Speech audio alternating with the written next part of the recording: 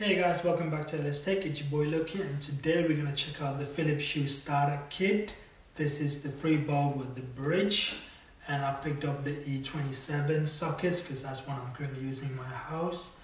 But yeah, you can pick this up with the B22 as well, as well as the GU10. But these one retails for around 130 to 150 depending on which starter kit you get. You can get one with a dimming switch or without a dimming switch I've got one without the dimming switch. And this is the color and white ambience but you can get a white only as well. But of course you want to get some RGB colors so I picked this one up here guys.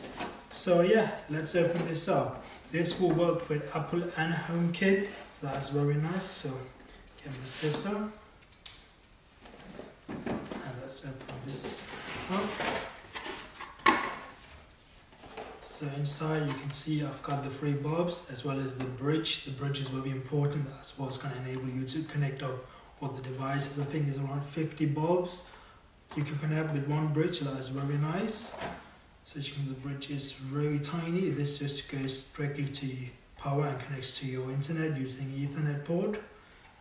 Well, yeah, just some signing and coding to get everything started up. We've got a user guideless instruction, but we're not going to read through that. Let's pull that to the side. And let's have it just look at one of the bulbs. So this is one of the bulbs as you can see guys. And it's a standard Philips Hue and you can see it's a hue white and color ambient. So you know you can change all the colors as well as your white ambient light which is nice. back in and let's see what we get inside. So inside we've got another little up here and inside we've got a tiny ethernet cable to connect it up. We get our power brick, standard brick thing here and we get two adapters. So if you're in the EU you want to use your EU pin, if you're in the UK you use UK pin. So I'm in the EU, I'm going to use this pin here. So this should just slide up here and that's it. And there's nothing else inside the box guys as you can see. I'm going to take the ethernet because I need that. So the box itself is very simple guys. What I'm going to do now we're going to connect this up first and take it on from there guys yeah? Okay guys I got a Google Wi-Fi here so I'm going to be using this one here because all my other ones are to be used. So the Google the Philips hub here so first connect your Ethernet. And then you just want to connect your power. It's going to be lighting up here. Not sure how well you can see this.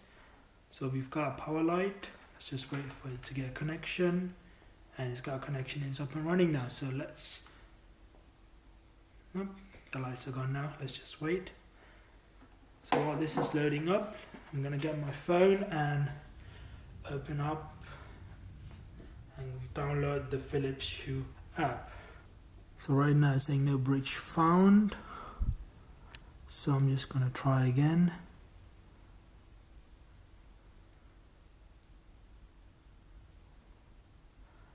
Just gonna wait for this to search.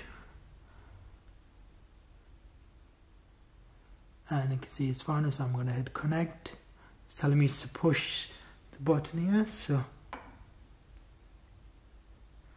I'm just going to hit access. We're going to agree to this. And enable. Oh, it needs to update as you can see guys. So we're going to let this update quickly. Okay, as you can see the update is done now. So I'm going to hit done. And it's just enabling HomeKit and Siri. And it's searching for my it's trying to search for it, but it's Apple HomeKit. I'm going to do that later. So we've got no rooms, I can create rooms. So let's do that. Um, it's found four of the bulbs, the, those one that came with it. So let's just go one dining room.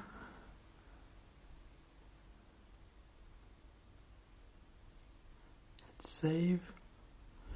So now the lights are done and so they're all connected up. So what I'm going to do guys, I'm going to insert the lights to the lamp and see how it goes.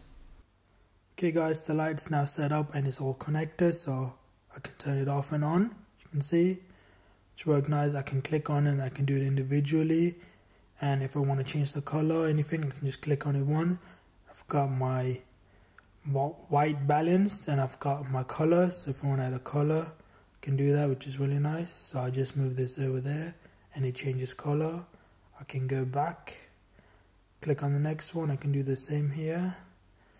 Change color to have to hold this and you can see the colors are changing background which is really nice but it's very simple so what I'm going to do now guys I'm going to connect this up to my Google and see if that works okay now we're going to go to the Google and then go to setup and you want to because this one has some things already set up. I'm going to click on that and then we want to search for the Philips app so let me do that. You can see the Philips will show up here at the top and we want to click on that. And we need to sign in I think. So um, let me do that quickly. So as you can see guys